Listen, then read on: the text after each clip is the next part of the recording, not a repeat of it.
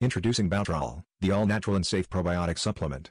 Probiotics are bacteria that are found in your digestive tract to absorb nutrients and fight infections. In the past, humans had an abundance of probiotics in our diets.